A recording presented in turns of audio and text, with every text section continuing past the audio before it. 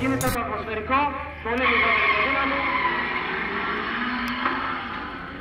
Κάνει καλύτερη αντίδραση από τον, από τον οδηγό στα αριστερά. Περνάει πρώτο στο 18 μέτρο. Ο Ευάγγελος είναι δολοφόνος οχημάτων με μεγάλη προδύναμη. Δεν πολύ χαπαριάζει, βέβαια έχει σύμμαχο και τα λίγα κιλά του. 14-3-39 ο Σαγυρίδης με 154 χιλιόμετρα έξοδο, 2-3-18 μέτρο.